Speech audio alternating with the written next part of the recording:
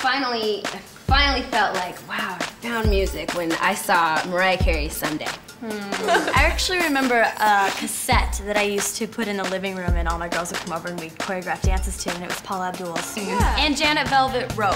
Hey! That was like my That's the first, best- like, yeah. Uh, my very first though was Tina Turner. I feel Oh. like she was one of the first Paula Abdul's. Like she was a true Yeah, performer. was. Paula Abdul was definitely a big influence on me as a dancer and as a singer. She did it all. For me would be um, No Doubt, um, because I think they've evolved as a group and as artists, and also Gwen is just on the forefront of, you know, fashion. She's an icon. She kind of takes it to the next level. The album is like mad, crazy, eclectic, and I think that's totally validates uh, who we are because we are mad, crazy, eclectic girls. We are like that in our music, obviously, in the record, the album, and our style, and in our voices. Here, studio again. record plant, my home. Ronald. Dixie, the mad scientist himself. You?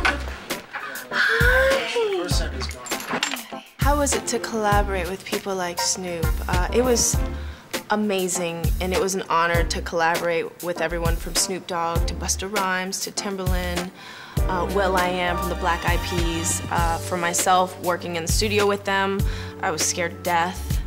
Uh, but uh, it was an amazing, awesome learning experience, and they're really, you could just learn so much from musicians and producers and artists and people like that, and I think we really have. Yeah, I don't think you can really categorize our music. We have a little bit of everything. It's definitely pop music, but with R&B influences, rock influences. It's got a lot of different flavors.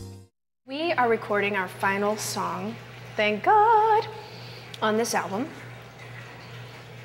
And it is called I'ma Stick With You.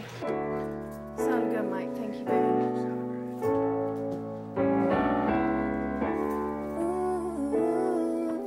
And it is a beautiful song.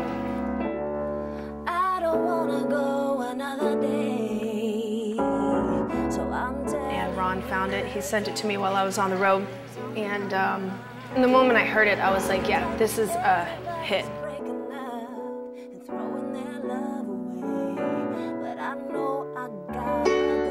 It's a really precious song. I, I love it. It's really sweet.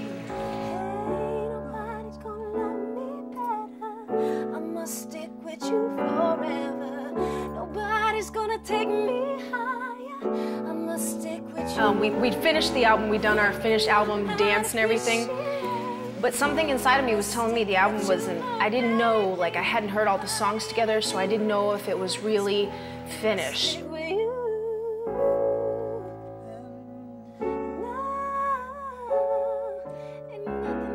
I was like, if we do this song for this album, then I'll feel like the album's complete.